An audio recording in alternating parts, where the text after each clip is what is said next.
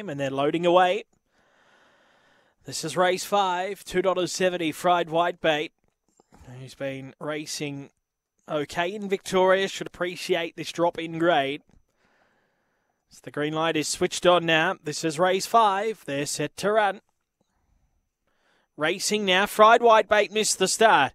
Coming out quickly from the squeeze, Born Spirit, and he'll lead into the back from moving up into second, placing along the rails there. Go Taylor making ground, fried white bait around them. There was trouble at the front of the field. Incy Valley checked, getting through. Go Taylor, and she's taken the lead now from fried white bait. Trapezius three lengths away, and then came just over.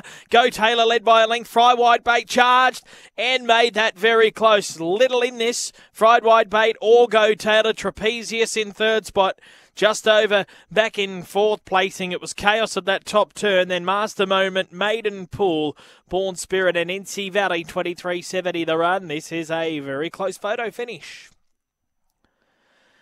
Not much in this one.